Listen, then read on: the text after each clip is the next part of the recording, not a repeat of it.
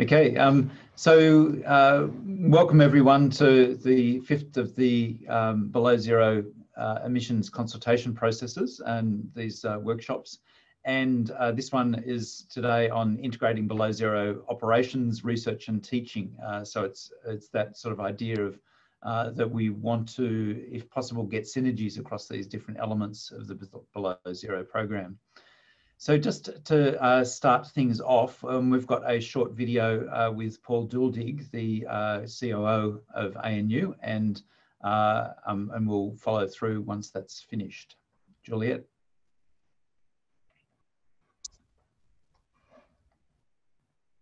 Hi, I'm Paul Duldig, Chief Operating Officer at the Australian National University. I'd like to welcome you to the ANU Below Zero consultation. Firstly, I'd like to acknowledge and pay my respects to the traditional owners of the land where I am today, the Wurundjeri people of the Kulin Nations. As we're all too aware, after the unprecedented bushfires, air pollution and heat that affected much of our east coast last summer, and with fire now wreaking havoc up and down the west coast of the US, climate change is already having devastating impacts all over the world.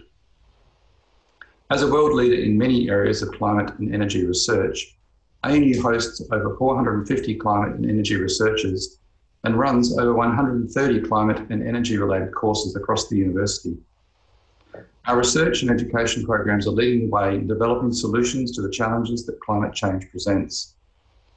As the national university, ANU has also a responsibility to lead the nation in line with the world's best practice on greenhouse gas emissions reduction. However, at the moment, ANU activities are contributing to climate change through the direct and indirect emission of significant quantities of greenhouse gases. Further to this, simply reducing our emissions to net zero is no longer enough to maintain a safe and stable climate. To keep global temperature rises to well below 2 degrees Celsius, and if possible to 1.5 degrees Celsius, we'll also need to draw down and store or use greenhouse gases. In February, the ANU Council passed a resolution recognising the urgency of action required to address climate change.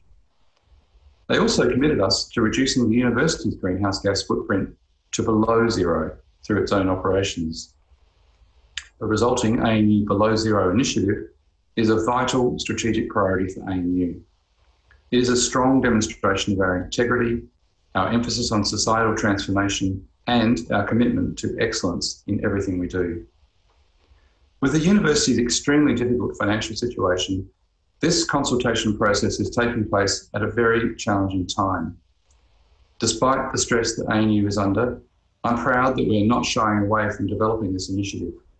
After all, we'll be dealing with the impacts of climate change long after COVID has passed. But there's no doubt that COVID 19 and our financial situation makes the operating environment for this initiative more difficult.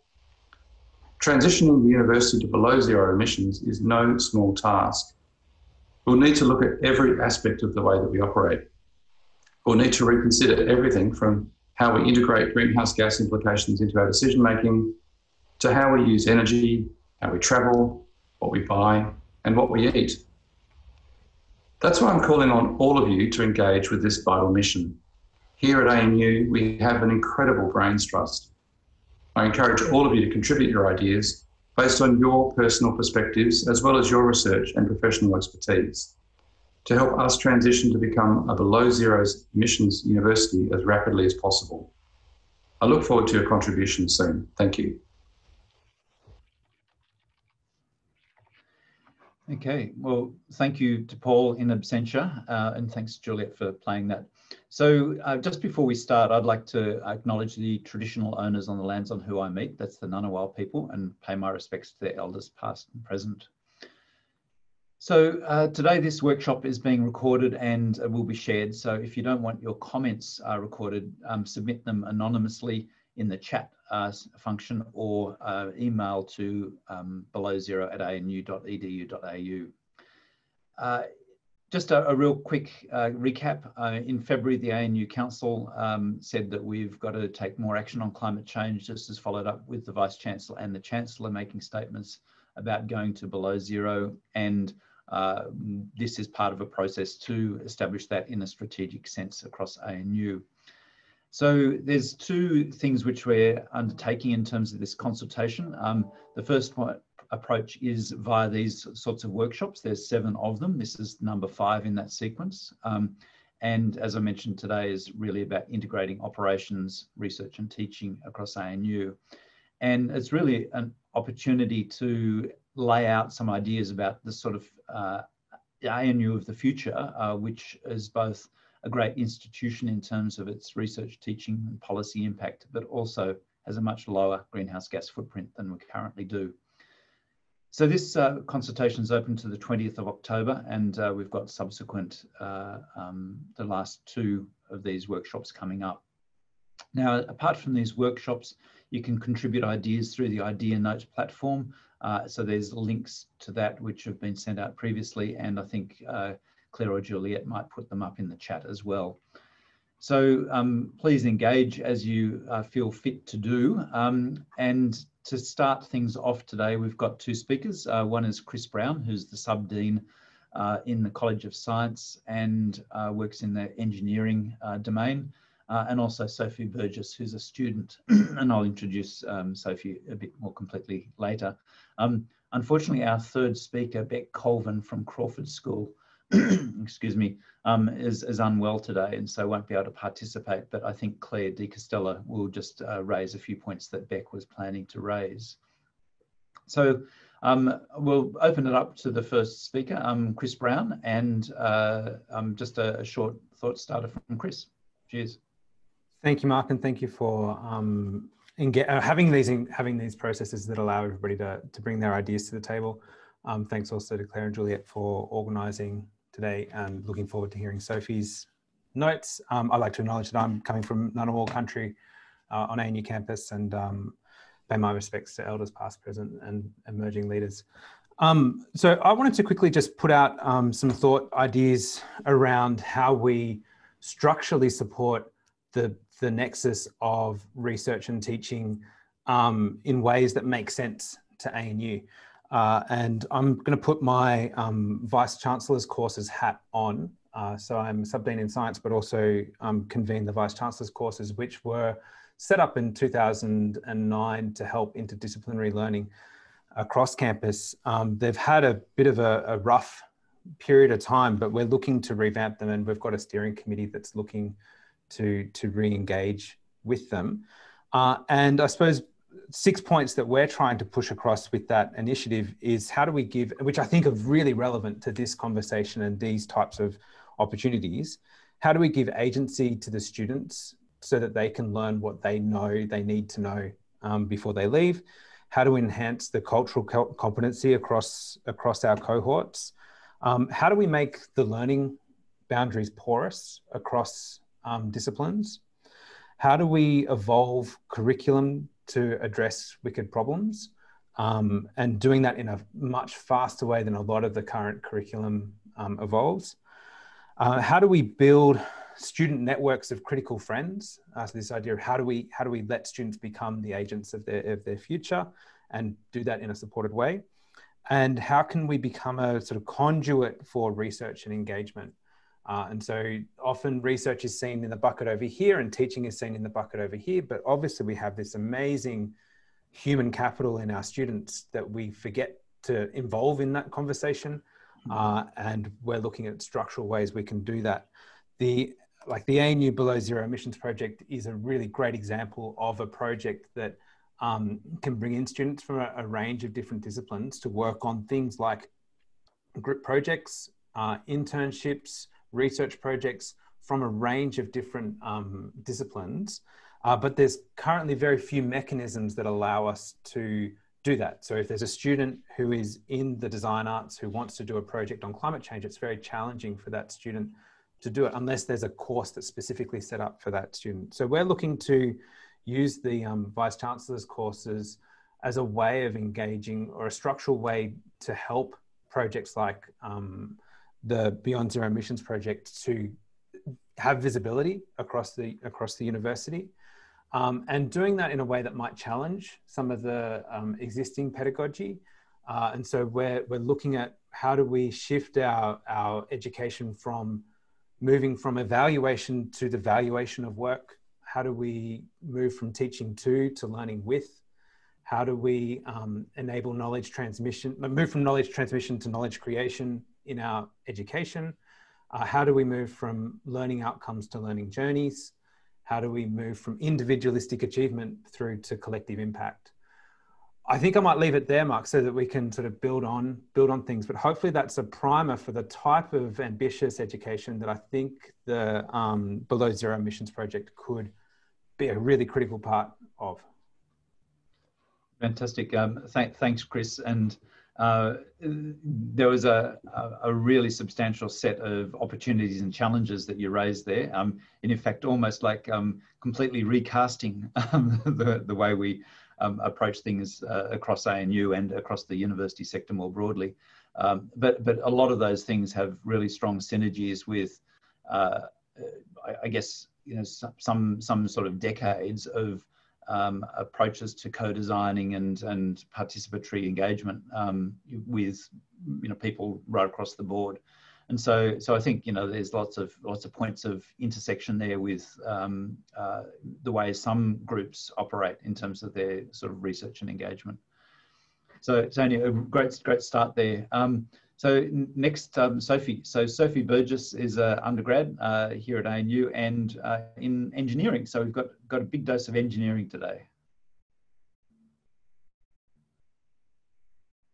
Over to you, Sophie. Thank you, Mark. Um, I'm just going to quickly share my screen. Um, all right, so people should be able to see that now. Um, so thank you very much, Mark, um, and thanks to Claire and Juliet for organising this. Um, so yeah, my name is Sophie. I'm a third year en um, engineering student in the R&D program. Um, I'm also a current rep for CECS um, with the ANU Student, Student Association, and I have some involvement with tutoring across a few different engineering and systems engineering courses. so I'm going to be talking today about my vision for how we can actively engage students in every step of this process, um, right from the setting goals to implementation of our below zero goals. Um, so the first question, I suppose, is why involve students? Um, so firstly, we're huge active members of the community, um, and many of us have a huge interest in reducing human impact on the environment. Um, a lot of us, as well as another advantage, are new players, I suppose you could say, to this game. Um, so, with that, we'll bring quite a lot of new um, and exciting ideas that may not have been put into the realm before. Um, and finally, as well, um, being involved in the ANU Below Zero um, initiative would also equip us with skills that the whole wider community, um, country, and even world would need um, so that we can tackle the larger threats of climate change. So I'm going to be talking about mainly how we can map um, I suppose, the capabilities that we currently have, as well as capabilities that will be set up um, to these goals so that we can reach a conclusion. Um, after this below zero process, we're going to have a set of um, ideas and specific goals um, that are going to be needed to be implemented. Um, and so I'm going to talk through my vision for how we can reach those goals in a really student driven way. So the first step for any sort of problem is figuring out where we're starting off with. Um, so for any one of these goals, um, thinking about um, where we are at the beginning, what do we need to start this process? And so that could be any number of a different thing. We could be needing to actually set what our requirements are. Um, we could just need to be um, analyzing certain like technical um, capabilities, figuring out how to implement ideas. we could be at any stage of this. The second thing is figuring out who we need, like what skills we need to be able to um, get us to the next point in that mission. Um, and so that could be students from a whole different range um, of like courses and programs within the university. The second really important step is identifying what opportunities we actually have to engage with students. Um, and so I've got a list of the ones that I could think of, and I'm sure that there's so many more um, currently within the university um, that are just really out of reach um, or like out of view um, at like a university level. Um, so firstly, coursework group projects. Um, the benefit of that would be really exploring a wide solution scope, having some like divergent problem solving and creative thinking. Um, next, for more kind of like in-depth technical detail, research projects in honours, PhD, R&D programs, um, capstone courses in engineering for system level analyses, um, VC course projects for that interdisciplinary um, sort of analysis that Chris was touching on in his speech, um, as well as extracurricular student teams such as the solar car team or rocketry, um, which really would be able to go from the whole stage from analysis to implementation once you know what's needed um, for your starting stage, um, really figuring out how you can map that to the end goal. So I've got an example here of what if our specific goal was like setting up a system to track and display electricity uses at Hancock Library. Um, so we might have our requirements as exploring available technologies and coming up with a plan to integrate. Um, and we know that our disciplines that would probably be involved would be engineering or science.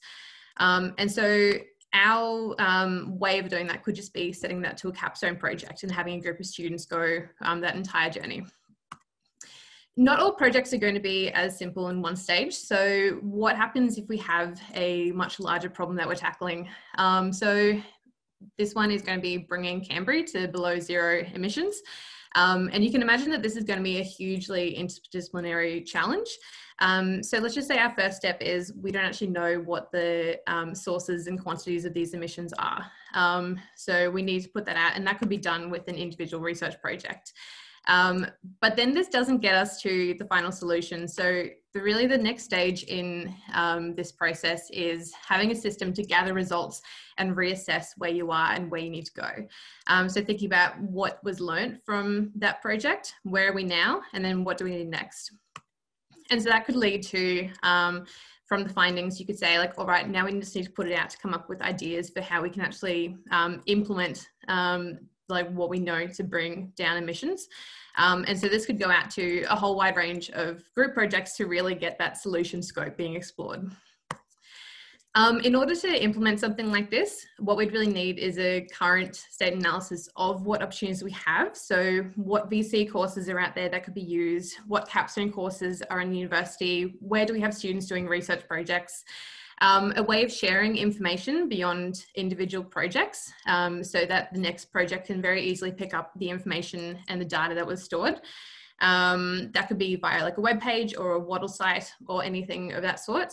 Um, coming up with specific end goals um, as well as specific intermediate stages that are required.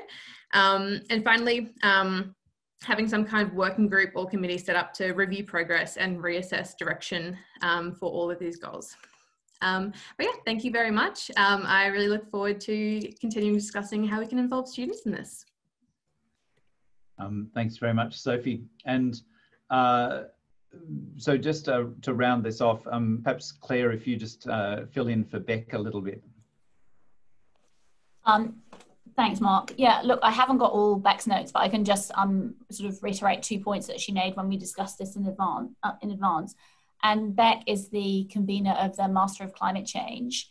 And one of the challenges for that, or one of the, and opportunities for her students she thinks, is that um, they're obviously looking at climate change at a sort of macro level um, and want to actually um, make some change, do something to, to address climate change. But looking at it at sort of macro level is very hard um, to actually um, find things that you can do individually.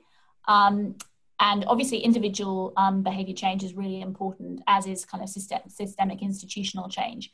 But what the Below Zero program um, can actually provide them is the opportunity to make institutional or to, to contribute towards institutional changes at a level that's a bit more manageable than looking at the whole country or the whole state. Um, so it's the sort of meeting of institutional change on a sort of more manageable level with um, individual behaviour change. And so she sees a lot of opportunity there for um, research projects um, that bring those two things together. And the second thing that the second theme that she wanted to focus on was actually um, having more focus on skills development within within that program. And she also saw the Below Zero initiative as a really good opportunity to look at skills like um, conflict resolution, leadership, um, talking to well interdisciplinary conversations, bringing different skills together, um, which in a sort of tangible way, um, and that that would that would really help the students on on those those students in particular. Well, th thanks, Claire. Um, it's uh, very helpful as well. So, so th those uh, sort of short presentations are intended to be just uh, essentially conversation starters. And so uh, now, is an opportunity to sort of engage in a, a more interactive way. Um, but before we do that, um, Sally, given that you've got to head off soonish, um, perhaps uh, if, if there's anything you want to throw in or any questions you want to raise um, at this point.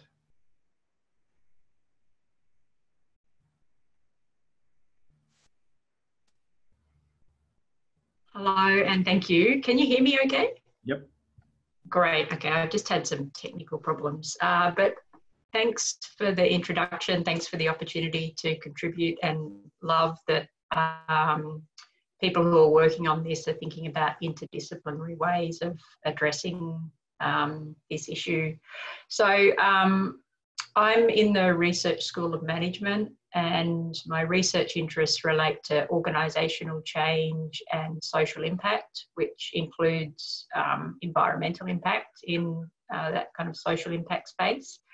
Um, so I guess I have a research interest in this area um, and also teach courses in our school that are relevant to climate change. Um, and I know I've, I've already spoken to Claire, and I know that you're already connected with Gary Buttress, who is also teaching in this space. Um, but I see, um, so I don't really know um, what I can contribute at this stage other than to kind of, I've already spoken to Claire and um, I think there's some opportunity to apply behavioural science to um, the behaviour change that we're looking to, to bring about in, in the student cohort as well as staff. Um, and I see opportunities for research projects related to um, using behavioural science. Um, I also work with a, a, couple of colleagues who use an evidence-based approach. We've developed a, a kind of methodology for using an evidence-based approach to organisational change. Um, so that's, I guess, specifically relevant to changes that we want to make on campus, um, be it amongst staff or students. Um, and that involves a kind of uh, a systematic way of identifying problems, using evidence to try and address problems, and putting in place a, a theory of change that we then evaluate um, based on that theory of change. So, um, yeah, I guess I, I, just wanted to kind of share um, share with you that work that colleagues and I are involved with, and happy to happy to help in whatever way we can, given some of our expertise in the Research School of Management around organisational behaviour and um, and change. So I don't know what you're what you're looking for specifically out of this session. Yeah, uh, look, I, I, I think what we're interested in is uh, you know various perspectives on contributions and how we actually go about uh, you know what is actually um, you know systemic changes uh, across ANU and and in particular some of the things that you're talking about um, I think you know do exactly what we're talking about here is which is how do you actually get real world change but not divorce that from the research and teaching aspects? How do you actually link those things together? And which was you know very close to what you were talking about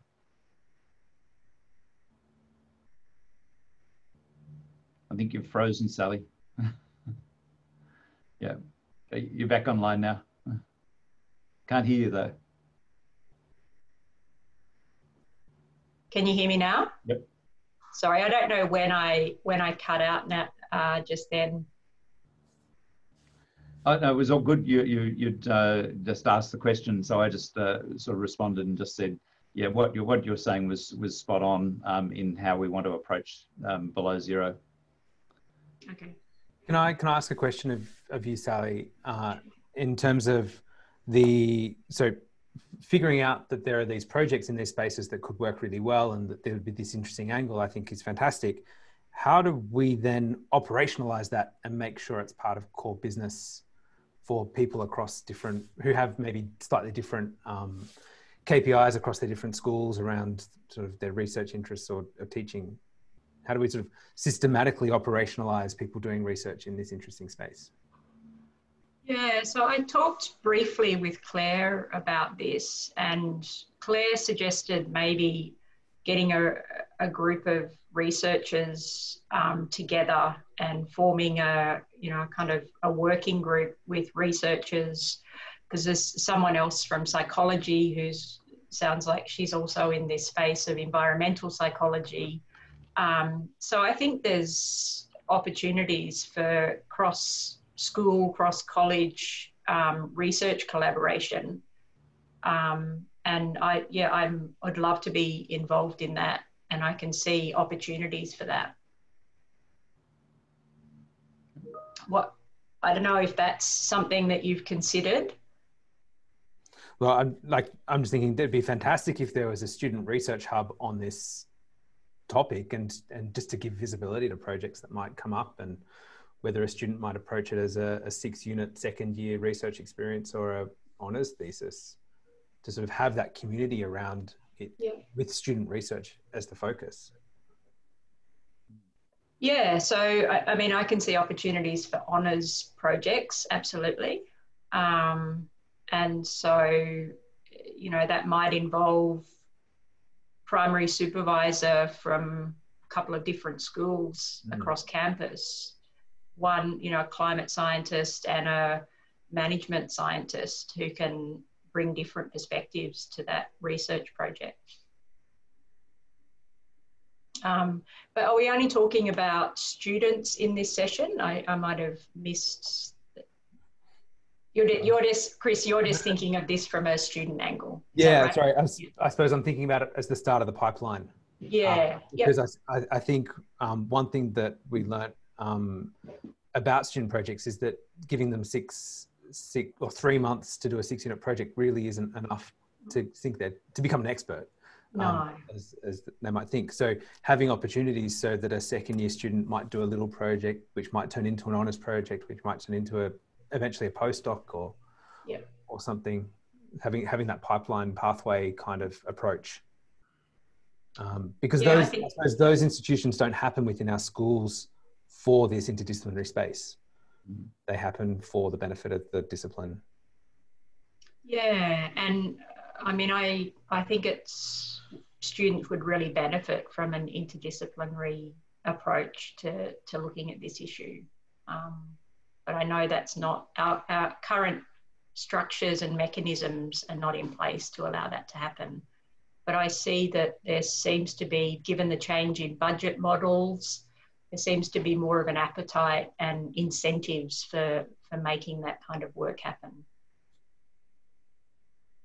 And I know our school director has an appetite for that. Um, and, you know, we have a, CBE has an internship program um, it's possible that there could be internship projects that are relevant to the work you're doing, um, where students work on a, an industry project for the semester and have a six units or 12 units contribute to their degree.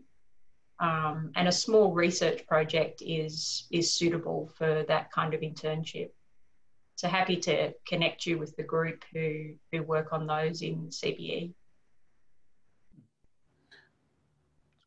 All right, I need I need to run, but um, great to connect with everyone, and um, yeah, exciting to to hear about the work in this this space. It's it's really good, and it's um, long overdue. So I'm really pleased to see it's happening. Excellent. Thanks, Sally. All right. Thanks. Bye bye. All right. Yeah. So so we've got a very small group here today, and uh, and so so um, you know, feel free to sort of interact a, a, bit more dynamically than, than we, we normally would with a bigger group. Um, so just really uh, throwing that open to, to other comments. So for example, um, you know, Tom, you've made a, a, um, suggestion about um, you know, generalizing some of the courses, uh, quite similar, I think, in aspects to what was just discussed by Sally and Chris. Um, and, uh, and uh, the challenge for me, I think, is uh, sitting in the CCI, we're not a teaching entity, and so it's not clear how we'd actually go about that, um, those sorts of structural changes within ANU and how ANU operates in terms of its offerings. Um, So, so that might be one thing to discuss. Um, and the um, other one is uh, Stephanie's, uh, Stephanie Pinalis is on on the call. And, um, and Stephanie, after, you know, in a little while, you might want to just um, throw in a few ideas about from your experiences as well. But Tom, if you want to just engage on that. Uh, yes, first of all, have I got the microphone working? You do. Excellent.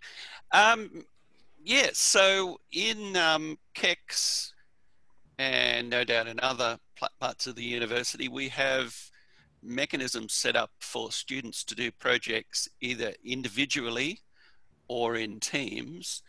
And so we have the structure set up where we invite clients who have things they need done to briefly describe what their project is and what they need the students to do. Then we have a process for the students to negotiate the details um, one for checking the legalities of um, who owns the intellectual property of what's produced, uh, ensuring the uh, students are covered in terms of work, work health, safety, insurance type things, and then a process for um, checking on the student's progress, checking on the client's happy, and assessing the scheme and software for doing that. So we have all of that sort of mechanism set up.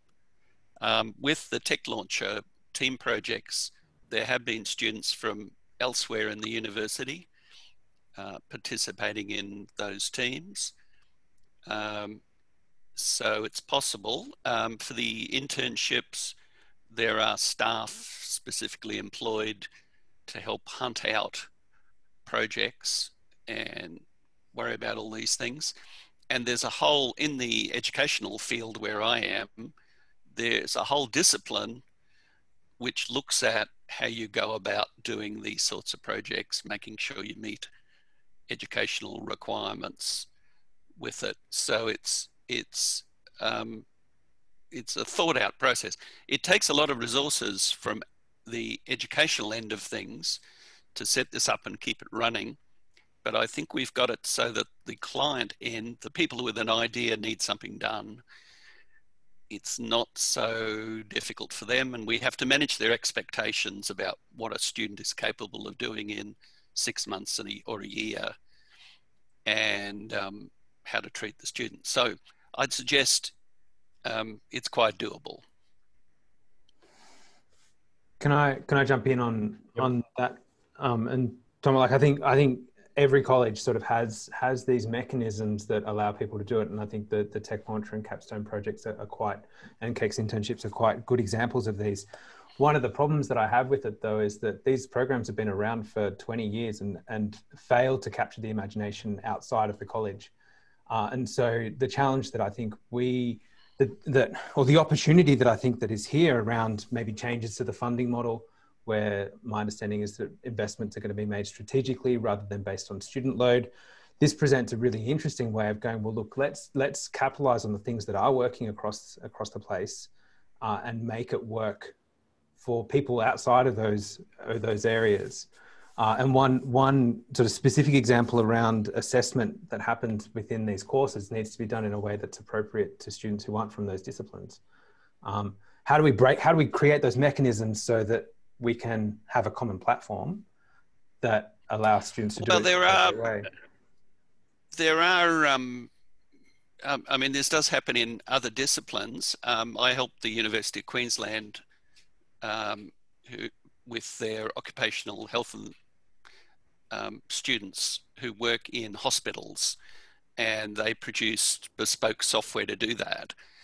Um, I guess my thought is this is something that would appeal to the parts of university where students are in a vocationally oriented discipline where they're used to having to produce a practical object and have that processed assessed.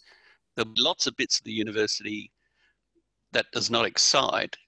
I guess my cynical view is with the new federal government funding arrangements, um, there won't be any funding for those other bits of the university. Um, so they will have to either get into this business of producing more practical things mm. or go out of business. So that might get their excitement in practical terms.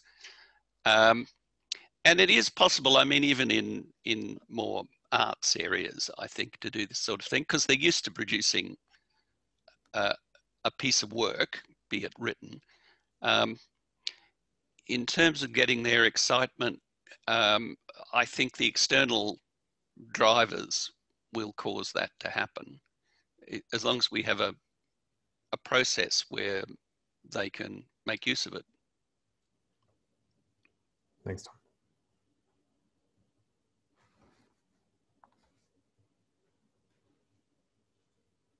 Sophie, just in relation to, to that, you know, like how, how do you respond to those discussions and suggestions from Chris and Tom?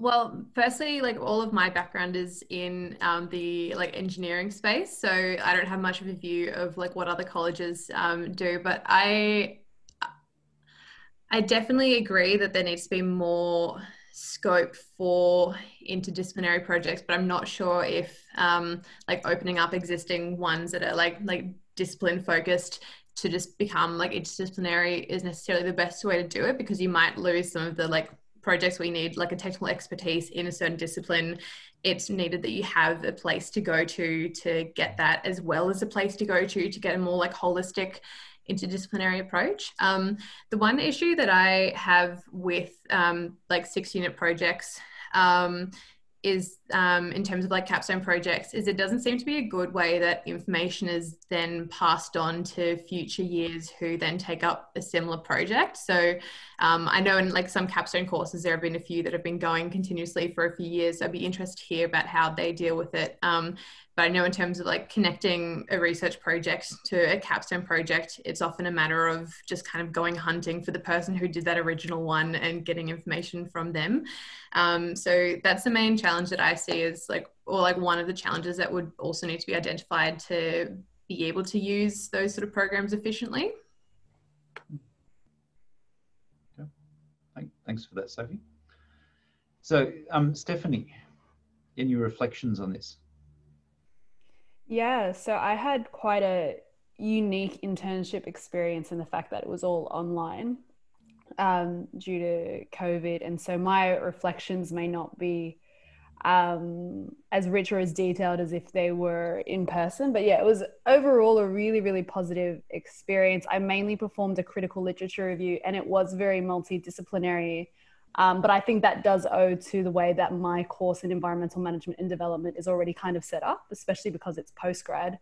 Um, and yeah, and so I think the real positives and the strengths of that internship and what was key to actually the success of it was the fact that the internship was always kind of grounded in the practical implications and the potential practical results of it. Um, for example, just knowing how it would contribute to the ANU Below Zero initiative and whatnot.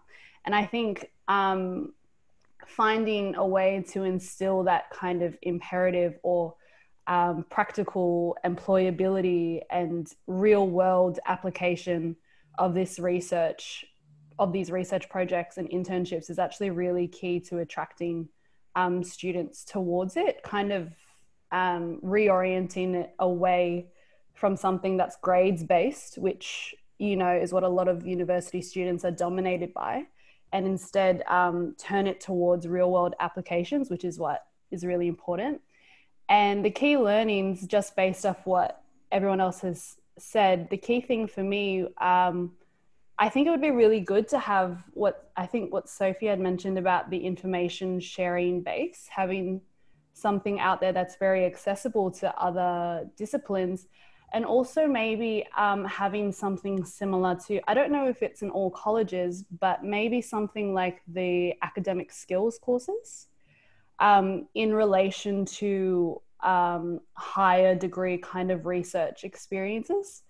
For example um, some of my most valuable meetings with claire um, since she was my supervisor were when she um, kind of talked me through dealing with politically sensitive issues and trying to resolve um, trying to resolve or address kind of political conflicts through my writing. And that's really a kind of issue and writing skill and communication skill that I hadn't had to develop before. So maybe if there was a similar kind of academic skills um, in relation to dealing with these kinds of higher research and complex world issues, I think that would be really valuable. And if these academic skills, I don't know if it's all around the university, maybe this is already a quite useless suggestion, but yeah, I, I've only experienced the Crawford one, and so I'd assume that they're quite um, specified to each um, college. And but yeah, that's pretty much it for me, uh, based off what every everyone else has said.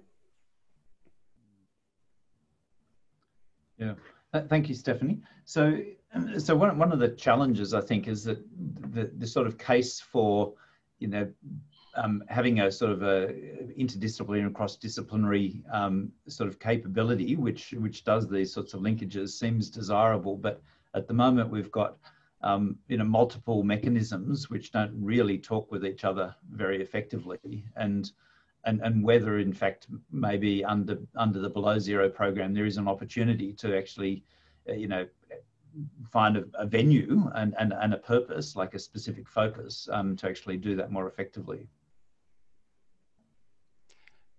Absolutely. I think the initiative is a really big opportunity to um, create linkages across the university that may have not been there previously mm. or that have been um, limited over the years. Um, one thing that sounds like it's sort of coming through is that that needs to be resourced effectively. Um, that actually managing this and um, making sure um, that there are pro- new projects coming on and that it's being communicated well.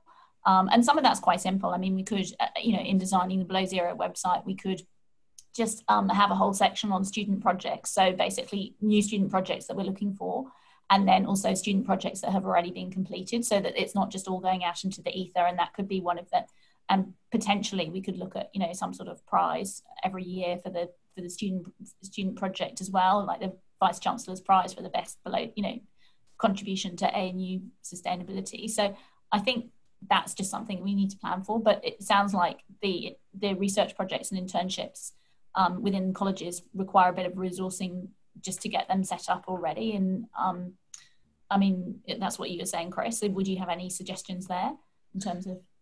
Yeah, so I suppose we're, we're trying to break the university in a whole bunch of different ways and uh, having a lot of trouble doing so. Um, the I, I think you have to work with what you've got.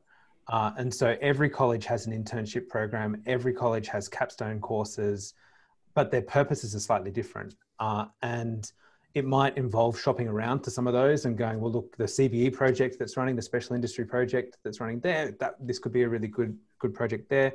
Maybe you could get a team in in Tech Launcher. Maybe there's um, a focus we could have in School of Art and Design. And so, so you've got to reach out, but also that brings a lot of benefits with it because people um, who are running those courses can then talk about these excellent things that they're doing across campus. It's one of the things that um, that brings value to them.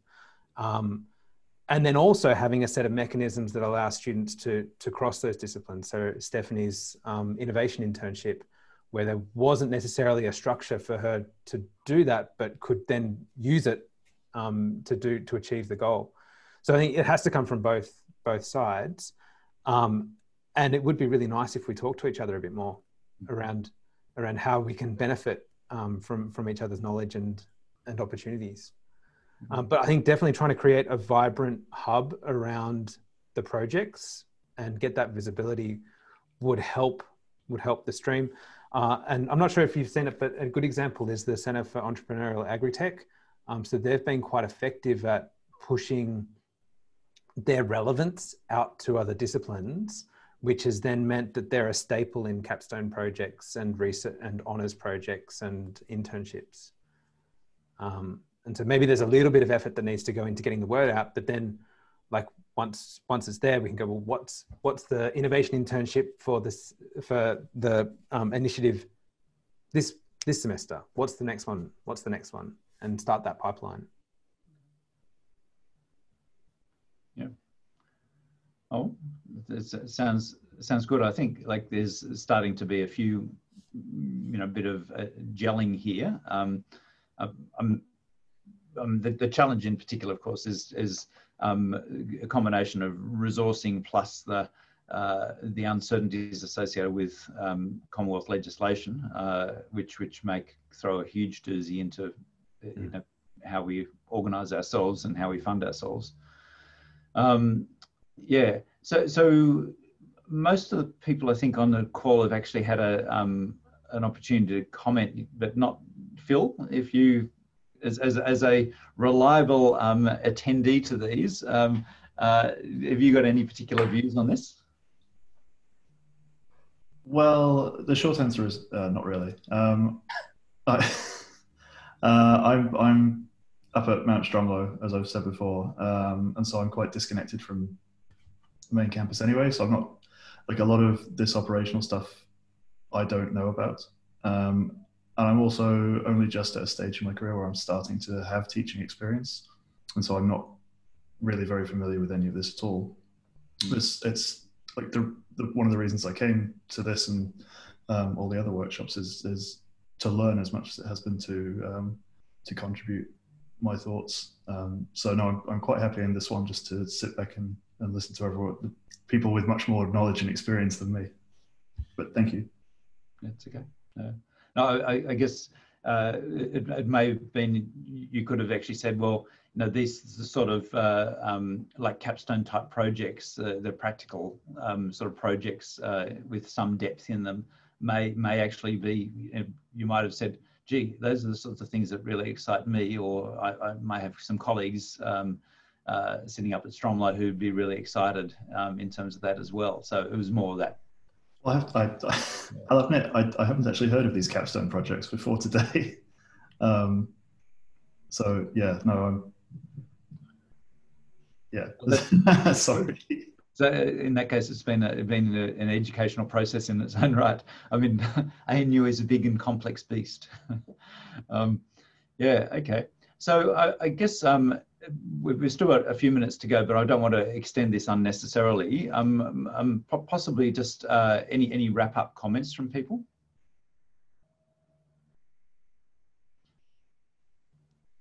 I think the key point there was getting the communications channels open across the university.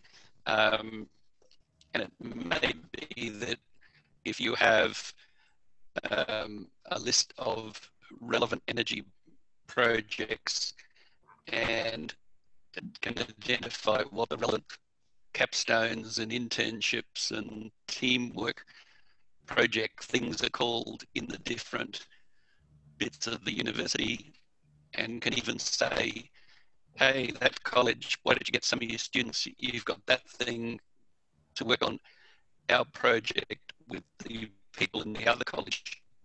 And they have an equivalent that might be to get this started without having to set up a new central standardized um, set of courses. Yeah. Um, maybe to operationalize Tom's idea, there is an internships community of practice where, and there is also uh, almost an interdisciplinary, a projects, group project community of practice almost um, in existence, which I think if, if you did have a list of projects or thoughts or and they have regular meetings as well and even just coming to those yeah. um, i know internship like in the science internship program we have about 45 applications for about six or seven spots. Uh, and so there is massive demand for students to work on these sorts of projects. I, I know that CECS has a much bigger project. Uh, uh, um, pipeline and, and CBE is just out of this world, but I'm sure that if projects were there, that they would be filled. Um, and and I suppose we want to work with whoever the host is to make sure that those projects are going to be successful and deliver value back to back to the the host. And so um, I think I'm I'm more than happy to put my hand up and help operationalize some of that um, because I see this as such a valuable opportunity for student projects over the next five, ten, and and Claire put up that idea of the living lab. This is our campus. This is something that we can actually have have impact on. Uh, I think it sounds like a good pathway through, and and, and possibly, uh, you know, engaging with those communities of practice sounds like a, a good pathway. Um, you know, you know, one of us sort of giving a presentation, engaging with them, uh, um, you know, outlining uh, some of the drive from the university executive, et cetera, so that, that it sort of identifies this as an area where there's prospective activities, uh, and and of course um, down the track, you know, there's you know, potential um, resourcing implications, uh, which I think we'll be looking at as as part of pulling together the various ideas um, that that emerge from this uh, uh, consultation and ideas generation process. Well, the internships community of practice meets tomorrow, so I'll pass on. I'll pass on that you're coming to the next one as a agenda item. okay, no, that sounds good. Happy to do that. That'd be great. Yep.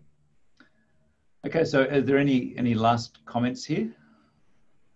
Um, one last thing that I wanted to um, touch on, or I suppose, like see if we can um, explore further in the future, is um, we've had a lot of conversations about how we can um, like start like communication bridges between like um, like projects and like like capstone sort of like courses. one of the things that I think is really important to see if we can really utilize is like so many courses do like small group projects where they look at like case studies and really kind of like come up with a lot of different ideas. Seeing if we can have a mechanism to get potential goals out there so that like courses can use like the data that we're trying to work with to like come up with ideas and really try to gather um, all of the thoughts that come out of those spaces. I think that that would be a really useful space to tap into. Okay. Yeah, that's a good suggestion, Sophie. Thanks for that. Okay. Any last words? just thank you very much everyone and chris will certainly be coming back to you to now that you've volunteered to try and like um, craft this as well, and and you, Sophie, as well. Thank you for your presentations and everybody's contributions as well. Fantastic, and uh, and, and Stephanie.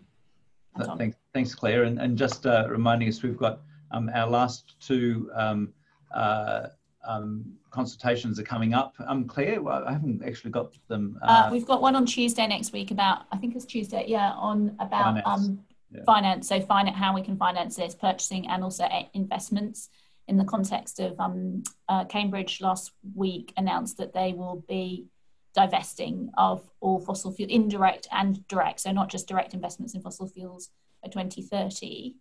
Um, and then we've got the final one with the Vice Chancellor and the Chief Operating Officer on the 15th of October.